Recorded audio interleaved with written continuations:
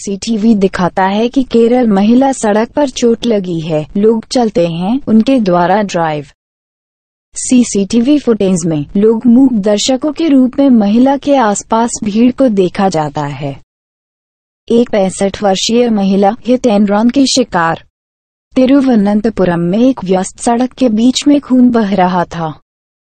कारों और बसों को बिना रोक के गुजरने के साथ सुरक्षा में पकड़े जाने वाले सार्वजनिक औपचारिकता के एक चौंक आने वाला प्रदर्शन में केरल की राजधानी।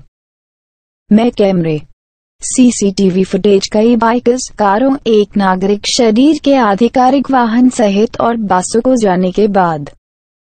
महिलाएँ सड़क पर आती है, पहले सिर दिखाती है, कोई भी मदद करने के लिए बंद हो जाता है और जाहिरा तौर पर पुलिस को कोई कॉल नहीं किया गया था। लोग मूक दर्शक के रूप में औरत के चारों ओर भीड़ को देखा जाता है, जब तक कि सीसीटीवी फुटेज में करीब तीन बज के पच्चीस मिनट सेकेंड तक कोई जवान लड़का मदद करने के लिए कदम उठाता है। लगभग एक ही समय में एक गुजरती पुलिस कार बंद हो जाती है और उसे अस्पताल ले जाती है।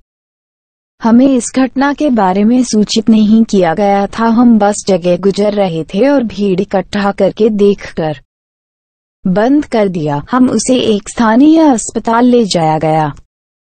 वहाँ से उसे तिरुवनंतपुरम मेडिकल कॉलेज में ले जाया गया था, एक पुलिस सूत्र ने कहा। पुलिस ने 20 साल के एक बूढ़े आदमी को गिरफ़्तार कर लिया है, जो दो व्हीलर की सवारी कर रहा है। उसके अलावा दो अन्य पिलियन सवार हैं। उनमें से तीनों ने हेलमेट पहना नहीं था।